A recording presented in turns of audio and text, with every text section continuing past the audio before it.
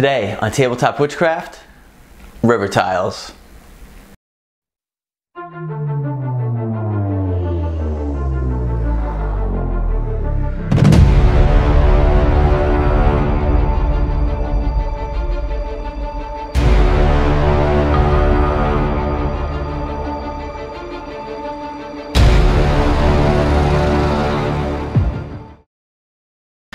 Everybody, welcome back to Tabletop Witchcraft. This week, building these river tiles. So, river tiles, why did I go with a tile? These are four by six inch tiles. I've got a table that's, you know, two and a half feet wide, and I wanted a river for a campaign I'm working on to cut right through this thing. And honestly, I didn't feel like storing, you know, a six inch wide by two and a half foot long river. I didn't feel like storing it. So I made a bunch of tiles. Look at this, bam. Right there, just like that. They stack right on top of each other, four by six inches, go right in a drawer. So I ended up deciding to go with some XPS foam, resin, um, some static grass. Uh, you'll see in the video that I use a method to make the river which you really need to make sure you're in a very well ventilated area outside. I was outside with a mask on and I even had a fan blowing the stuff away from me because I actually use a soldering iron to kind of just carve out through the XPS foam. It makes a really awesome look, but you don't want to breathe that stuff in. So just make sure um, that you're outside, well ventilated area. So yeah, um, let's get to crafting here and make sure to hit that comment button, like and subscribe and hit that bell notification for all further videos here on Tabletop Witchcraft. Alright, so you're going to go ahead and just cut your tiles out and then draw in whatever river shape you want. Uh, these are 4 by 6 inch.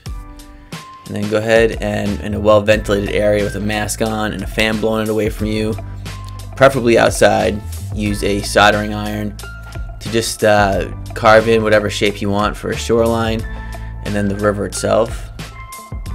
It melts really easy. Um, you don't have to have that uh, soldering iron uh, set really hot. Um, I actually end up plugging in for a little bit and then turning it off and working with it off. It's plenty of heat to keep it going for a while.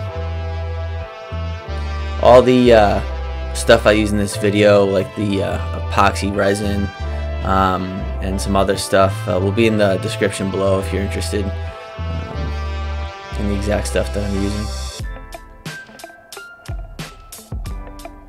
And don't worry about little uh, mistakes like that. Uh, you'll see I touched a spot where I really didn't want to. It's all going to be covered up uh, later on in the build. Right now you're just going to get the basic design of the uh, river.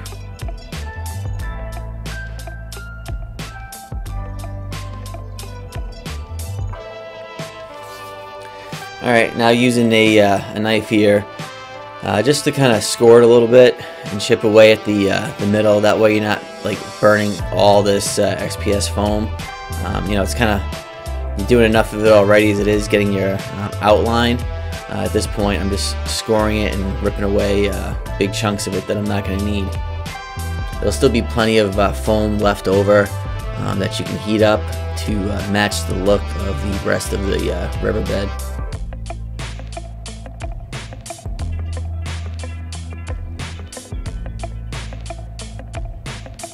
Alright, and then same as before, just go through and hit it up lightly. The stuff will um, actually harden up too, um, pretty solid, the foam, so it's kind of cool. And you don't have to press hard or long, otherwise you'll put that um, iron right through the XPS foam.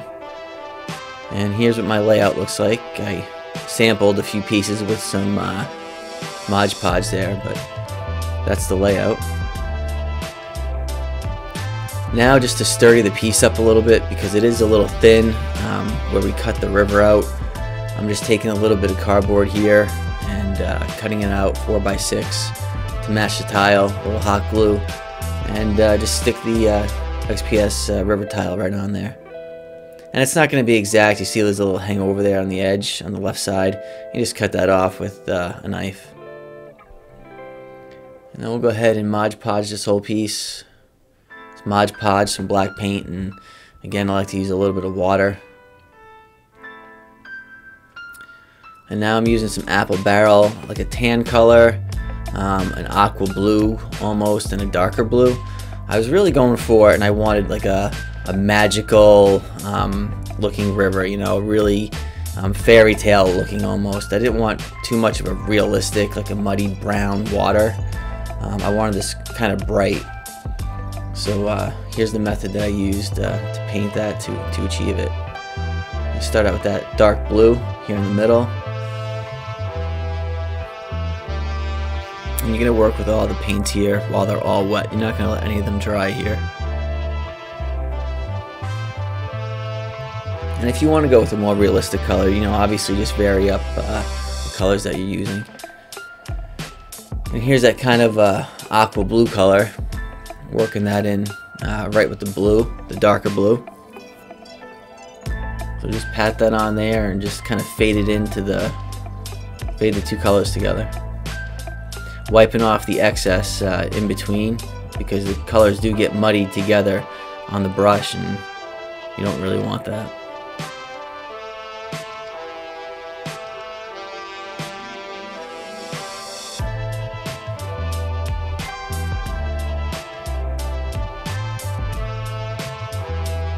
And just keep working it together until you get the, uh, the fade that you're going for.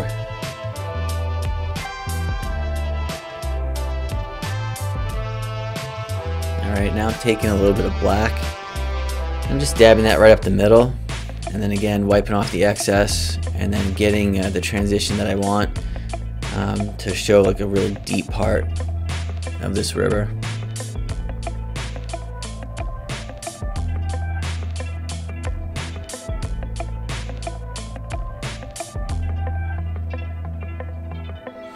Really doing a lot more dabs and brushing it together. And now I'm just doing the shoreline here in a lighter tan. And don't worry about how bright that is. We're going to darken that up with some washes later on.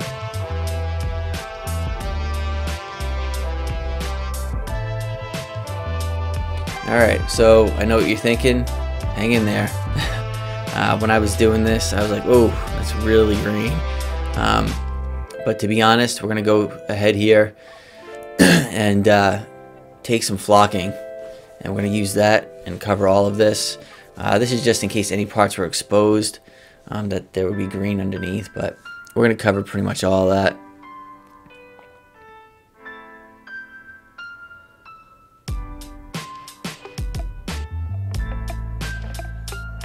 Alright, now for the shoreline. I'm going to use like a dark, muddy brown. And again, we're going to wash all this stuff. So the colors are going to vary, you know, the end product. Um, so we're to do some muddy areas and change this up however you like. Um, that black spot there, we're to turn into a rocky area. Same blending technique as the river, blending that mud up into the grass. And a dark, um, like a pewter gray um, for the stone base. Now I'm just doing a little light dry brushing on the shoreline.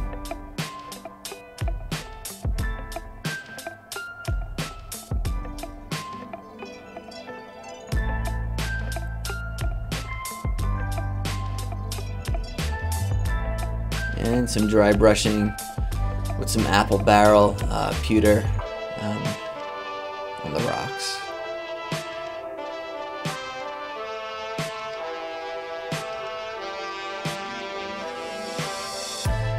And here I wanted some spots where my players could hop across the river um, and have some playable spots uh, in there as well. So I cut some rocks out um, to about a one inch size piece where I could place those in the river. And here are some sticks from the yard and I'm just going ahead and I'm uh, Mod Podging those. And same technique as the, uh, the stone on the shoreline. We're gonna bring that up with a light, lighter brush of gray on the stone. And you see I'm bouncing back and forth here. It's just because I'm working in between uh, different pieces while the sticks are drying. I'm working on the stone and back and forth and back and forth. So now I'm just taking a brown for the sticks, hitting that up.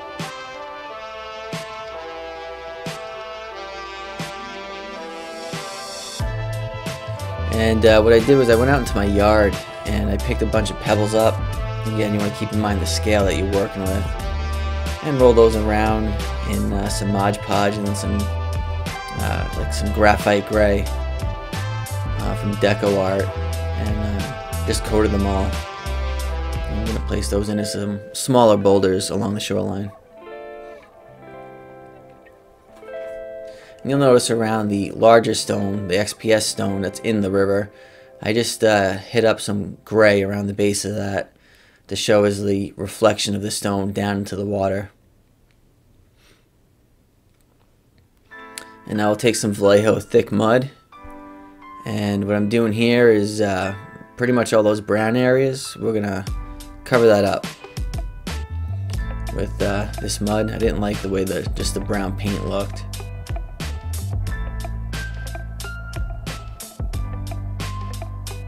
Felt like this piece needed to have some, you know, some texture to it. Um, and paint really wasn't going to just cut it.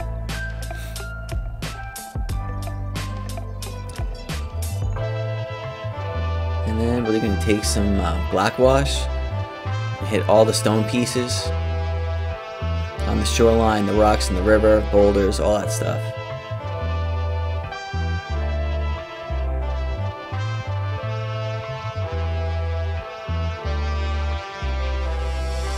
Alright, now we're going to cover up that bright green. I'm going to take some just regular uh, glue here and uh, just spread it out wherever you wanted to have that, that grass. Uh, one thing just to note, um, I used a little too much glue there as you can see, but uh, I would go ahead and actually do the uh, epoxy portion first. I found that um, when I had placed the epoxy, it got drawn up into the uh, the flocking here. It made it a little uh, look like it was really wet. I mean, it didn't look bad, but um, I guess it all depends on what look you're going for.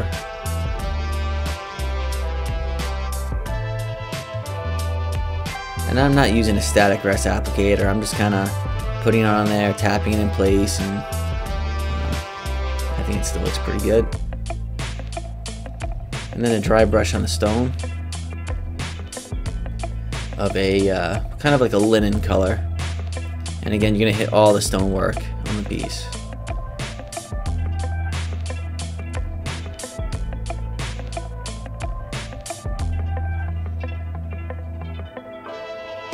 And this is just a brown wash for the shoreline.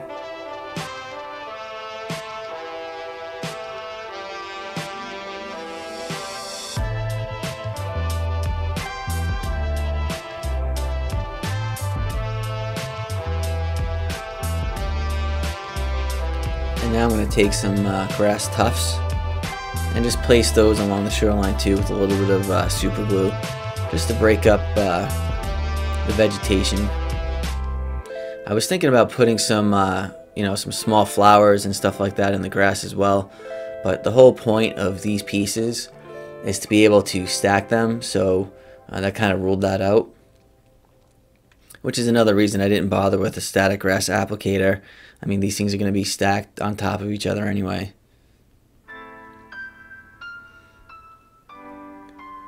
Alright, now just take a little masking tape and uh, just press it on to the edges here. I'm going to press it on really good, that way you don't have any leaks. We're getting ready to do the resin.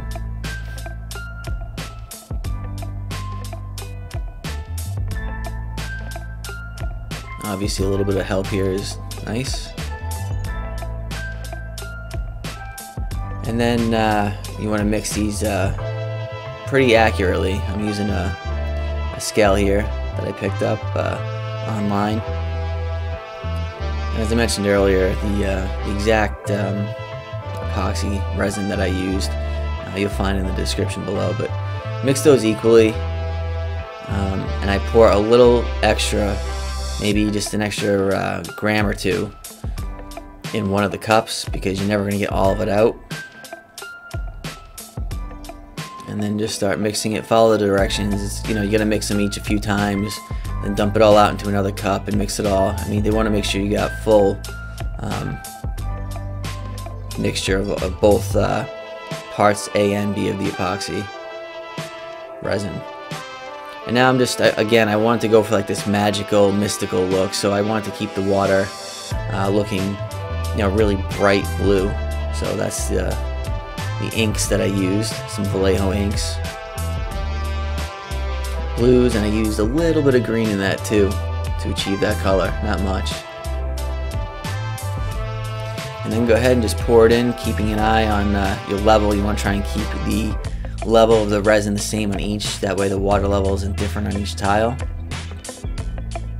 When you pour it, you really want to kind of just pour and go for it. That way it doesn't drip down the cup.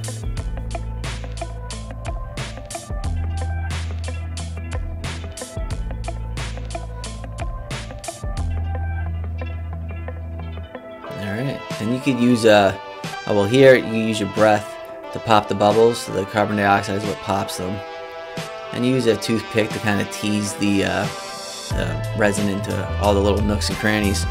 And you'll see here, I got distracted and got into another project, and uh, I should have went back like 10 minutes after, 10, 15 minutes after I poured it, and I didn't. And you'll see some uh, some bubbles there. Um, again, those would have came out with a simple uh, breath of air over it, but uh, you'll see I end up uh, turning that into you know just some rapidy type looking stuff later on in the build. And just to neaten things up, I paint uh, all the edges here in black.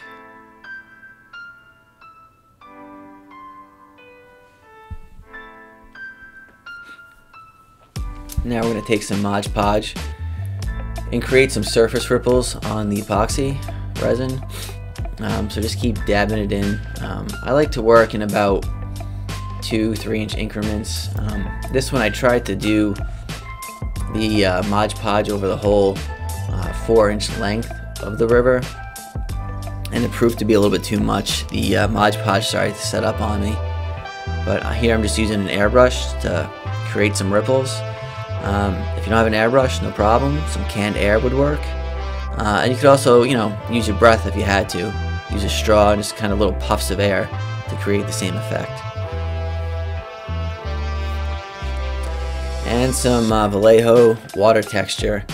Uh, this is some pretty decent stuff for some fine detail um, and ripples um, coming off of, you know, like edges of stone or, or sticks in the water. If you've got calm bodies of water, little ponds that you're working on, this stuff is great for ripples. Drips in a sewer line if you're making sewer tiles, really works well. And all this stuff dries clear. And a little also goes a long way so just little bits at a time.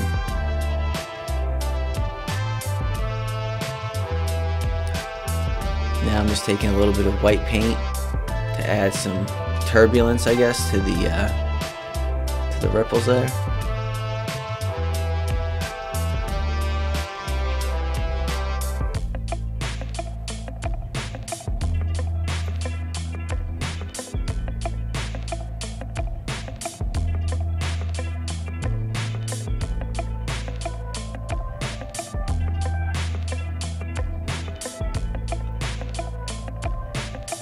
using a toothpick just to move it around, get exactly where I want it.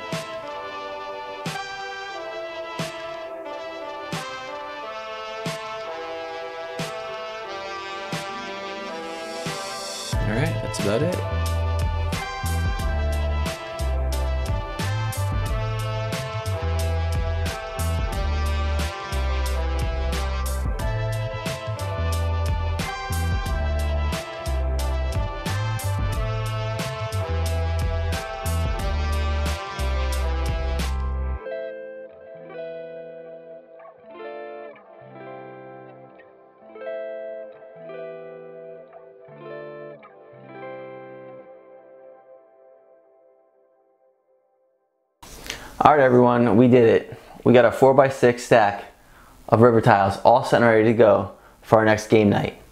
Now, just because I need a river to rip right through my game board doesn't mean that's what everybody else needs.